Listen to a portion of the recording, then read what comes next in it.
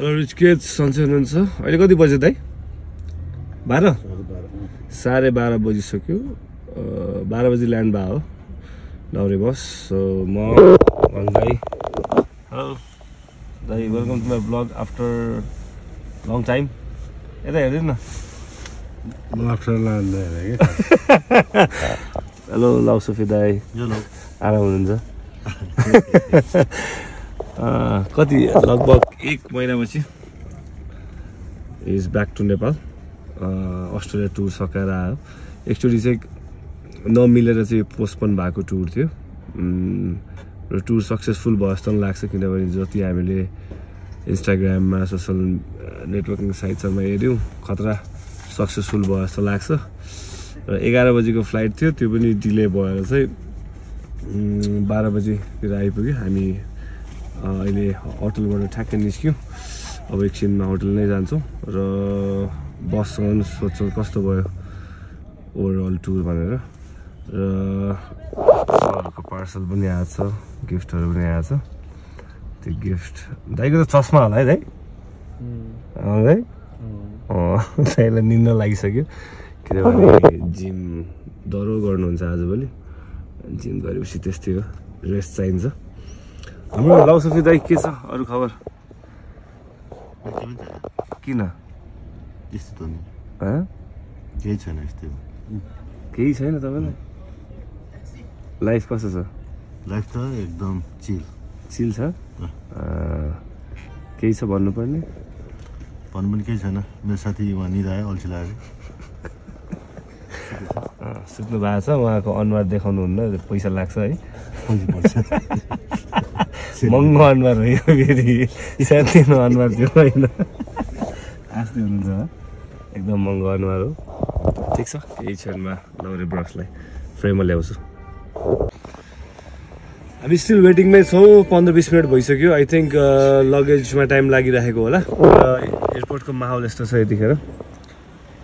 एक बज्न लागिसक्यो। जस्ट चलपल छ एयरपोर्टमा वेट गर्दा गर्दा झ्याउ लाग्यो। सानो सानो वाङ दादा टोइलेट जानुभयो। के छ दाइ अनि के हुँदैछ दाइ लाइफमा? काम साम यताउता त हो नि रमाइलो। अरू के छ? यही त हो नि लाइफ दाइ। लाइफ चाहिँ यही हो नि त। रमाइलो काम पनि भइरहेछ भने चाहिँ त दामी छ नि दाइ लाइफ। है? कति भयो तपाईँले लाउरे बसलाई नभेटा?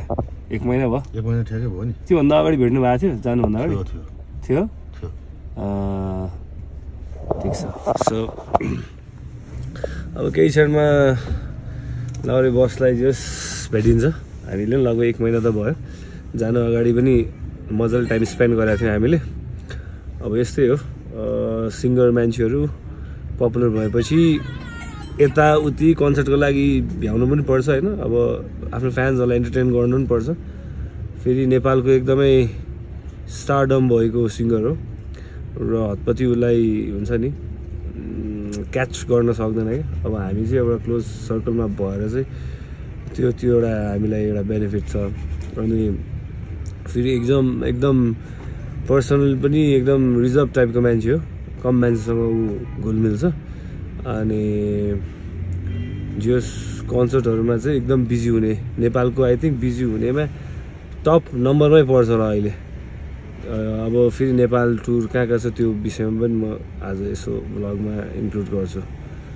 लेट्स सी अब टुरहरू कहाँ कहाँ छ कहाँ कहाँ कन्सर्टहरू छ। एटलिस्ट फ्यान्सहरूलाई मेरो ब्लगबाट पनि थाहा होस् है। सो हामी इन्टरनेसनल एयरपोर्टभित्र छिर्दैछौँ। सो लगेजहरू लिएर बाहिर आइसक्नु भएको छ।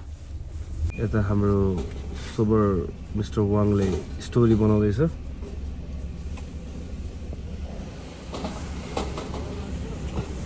सो बल्ल बाहिर निस्क्यो बस होइन अब हामी एघा एक बजे एक बजे अहिले र हामी लिन जा लिन आयौँ यहाँ airport So finally, bus is here. ओ कहाँ गयो बस ओहो ल सु ल मेरो बस यार गरौँ न यार बस ल welcome to Nepal thank you so much so एयरपोर्टको माहौल यस्तो छ so bus is finally here एकदम रमाइलो मान्छे हतपति ऊ पनि त्यति मान्छेसँग मिल्दैन होइन?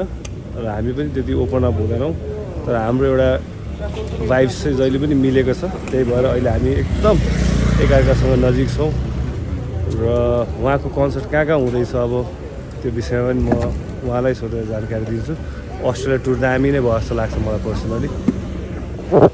लगेजेस एन दाईहरूले एकदम सहयोग गरिराख्नु भएको छ। प्यारो भाइ भएको छ अहिले बस सबै दाईहरूको। पार्सल अनबक्सिङ हुँदैछ यो।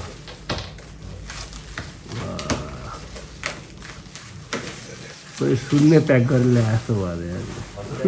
सुन्ने प्याक गरेर ल्याए जस्तो भयो लौ सोफी दाईको खत्रै गिफ्ट आएछ है। त्यो लाउसोपी भनेको उल्टो भने जस्तो लागेको थियो लाउसोपी किन? मैले एउटा त्यो चाइनिज केटी लाग्यो भनेको। लाउसोपी भनेको के हो भनेको सोधेको? लाउसोपी त्यस्तो शब्दै छैन।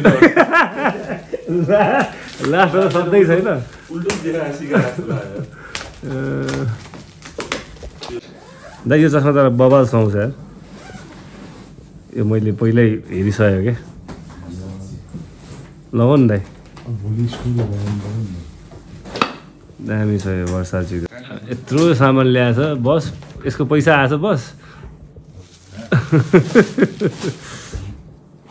थ्याङ्क यू भन्नुपर्छ होला नि होइन? दाइ के हो? देखाउनु दाइ। आ घडी है कडा। कुन ब्रान्ड हो यो? वर्षाची हो? एउटा भर्छ चाहिँ एउटा बुस। दामी हाम्रो ब्ल्याकी दाईलाई लौ सोफी लौ सोफी दाईलाई हो। यो यो सर्ट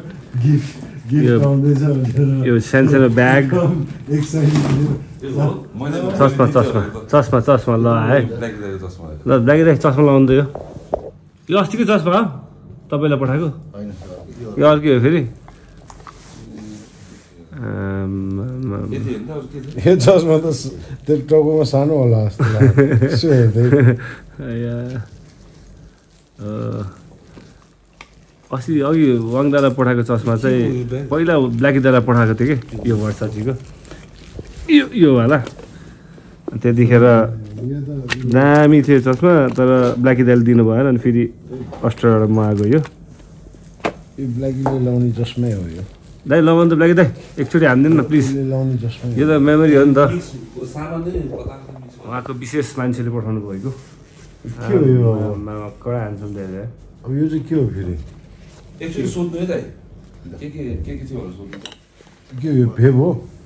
के हो दाइ यो वेब त्यो भने त्यो हो क्या भेप राख्ने होला किरेट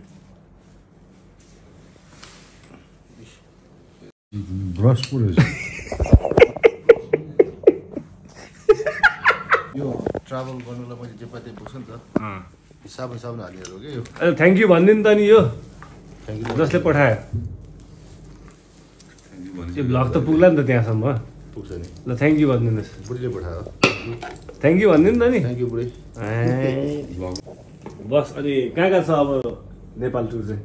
नेपाल टुर अब आज त रेस्ट गरेर भोलि सोच्ने। त्यसपछि फेरि के अरे? चाइना होइन? उता होइन, के अरे कोरिया। कोरिया छैन जनवरी जनवरी ट्वेन्टी वान ट्वेन्टी वानमा ए ल ल ल। कोरियामा अब जस अस्ट्रेलियामा दामी भयो? दामी भयो अस्ट्रेलिया एकदम रमाइलो भयो। अनि नेपाली खाना पनि खाइयो होइन थुप्रै। तर अब भोलि चाहिँ नेपालको अब यहाँ थकाली खाना खाना सबैभन्दा बेस्ट चाहिँ कहाँ भयो सातवटा स्टेट मध्ये? अँ, सो सोको हिसाबले। सोको हिसाबले मेलबोर्न दामी भयो क्यानबेरा पनि दामी भयो अनि होवर्ट पनि दामी भयो।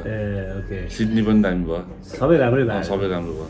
है? एउटा एउटा दुइटा ठाउँ चाहिँ नराम्रो भयो क्या एउटा ठाउँ चाहिँ अलिकति अरू त्यो त बवाल भयो। अनि जे सब ठिक छ चङ्गा भयो। चङ्गै भयो। है सिङ्गलै फर्कियो। अँ सिङ्गलै हो नि खर्च चर्चा धेरै भएको थियो नि त है चर्चा धेरै भयो तर गीत थियो नि त्यो। पुरै चर्चा। चाचा उपचार छ के भन्नु त्यो उसो ब्याटलको लागि पुरा लभ पऱ्यो भने चर्चा भएपछि के हो खास यो ब्लगबाटै यो होइन लप परे होइन। अब ठ्याक्क दुईजना जोडी ठ्याक्क राम्रो लाएर होला मान्छेले त्यस्तो टिकटकमा धारणा दिएको। वेल विसर मात्र हो वेल विसर ल चियर्स चियर्स सुई सोफी सोफी लाउसबी गलत शब्द रहि भने भनेको उता एउटा चाइनिजले पक्का पक्कै चाइनिज रहेछ। त्यताबाट त्यो अलिक अर्कै चाइनिज पऱ्यो जस्तो लाग्यो मलाई दुइटा भाषा। त्यसो त्यो बोका होइन। अ, लाउसोफी भनेको जान्ने भएर झन् के भनेको भनिदियो मलाई त म हाँस्छ होला भने सोचेको कि सुरुमा मैले त। अर्को भाषामा पऱ्यो कि? अर्को दुइटा अर्कोमा पऱ्यो क्यान्टोनिज केमा पढेको नि त। यदि तपाईँहरूलाई चाइनिज आउँछ भने लाउसोफीको मिनिङ के छ? तल कमेन्टमा बताइदिनुहोस्। ल ठिक छ। गुड नाइट गुड नाइट के अरे अर्जेन्ट के अरे फुटबल म्याच हेर्नुपर्छ है भोलि फाइनल हो त। ए भोलि फाइनल मतलब यो ब्लग जाँदा पर्सि फाइनल हो। भोलि ब्लग जान्छ नि पर्सि फाइनल हो। सन्डे फाइनल हो त्यहाँ फुटबल हेरेर चाहिँ सब कस्तो उल्टो उल्टो भएर रहेछ अहिले त है सबै उल्टो जित्छ त? अर्जेन्टिना र फ्रान्स दुइटा स्योर भयो अर्जेन्टिना र फ्रान्स जाने फाइनल भइसक्यो ए कसले जित्छ अर्जेन्टिनालाई अब सपोर्ट गर्नु पर्ला नि है ल अर्जेन्टिना कहाँ अरू सबै अर्जेन्टिना सपोर्ट गर्नै पऱ्यो नि के कुरा अरे ल अनि बुढीलाई के भन्ने त अर्जेन्टिना केही नभने thank you very much cheers man thank you so much for coming up at airport always always अब. राम्रो मान्छेको लागि हाम्रो हाम्रो हाम्रो हुन्छ त। हाम्रो बन्डिङ अलवेज ग्रेट छ नि त। हुन्छ। त्यही भएर अनि Always अर्जेन्टिनाले जित्ला होइन यसपालि? अर्जेन्टिना लानै पर्छ। अब रोनाल्डो नभएपछि मेसीले लानु पऱ्यो नि होइन? बाजी बाजी नै हाल्नुपर्छ जस्तो त्यसमा यस फ्रान्सलाई हराउनु पर्छ। र अर्को कुरा भनेको चाहिँ टेक रेस्ट अनि भोलि फेरि भेटौँला। ल.